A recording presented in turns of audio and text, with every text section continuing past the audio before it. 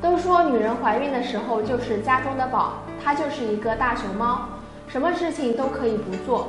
尤其是那些体质微弱的女人，当她们如果做苦力活的话，还生活中，那么她们流产的概率就会很大。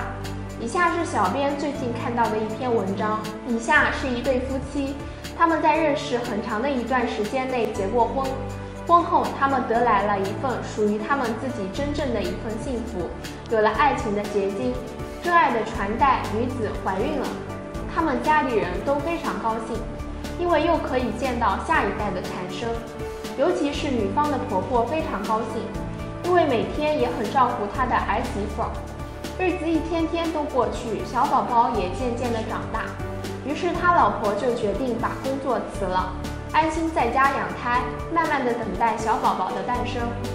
时间不长，她的儿媳妇逐渐肚子大了起来，但在婆婆眼里，觉得刚开始肚子小，可以做一些家务事情，这样也能够帮助产妇生产顺利。但在年轻人看来，觉得怀孕就是一件天大的事情。但是她的婆婆本身就是一个说话特别多、喜欢唠叨的人，他觉得儿媳妇每天都这样，什么事情都不做，都让他去做，他觉得很累。于是当他儿子下班的时候回到家，他就会跟他儿子数落说儿媳妇的不好，但他儿子又是比较听他老婆的话，就会去询问他的老婆：“你怎么这么不懂事？不要一怀孕就什么事情都不做。”整天只知道游手好闲。我母亲那么大的年纪，你什么家务活都让她做，她身体会吃不消的。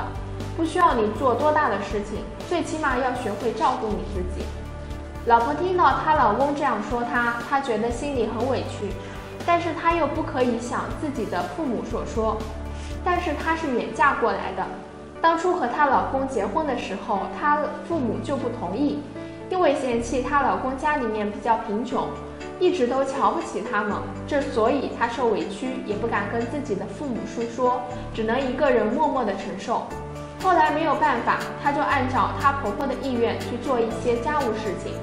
有一天，她老婆婆对她说：“我今天有一点不舒服，感觉身体都没有劲，你去厨房做一些菜，等着我儿子下班回来吃。”就在这时，她媳妇说：“我也有一点不舒服。”能不能等我老公下班回来，让他自己去做？于是她婆婆就说她：“你每天只知道在家坐着，什么事情都不做。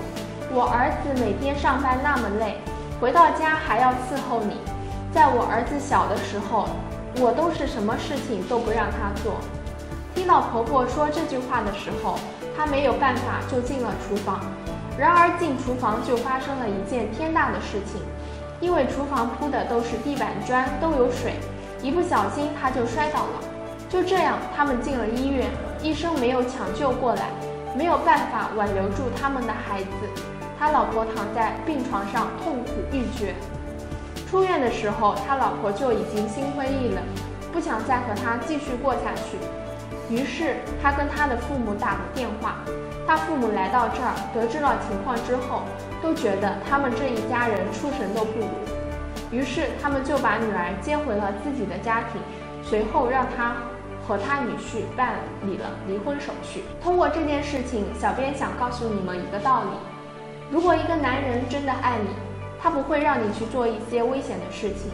尤其是在你怀孕的时候，一个女人只有在怀孕的时候才能够静下心来。怀孕的时候不可以做一些剧烈的家务活，可以适当的运动一下，不可以做一些弯下身子的活，因为那样会伤到肚子中的小宝宝。愿每一个肚子里有小天使的妈妈都平安健康。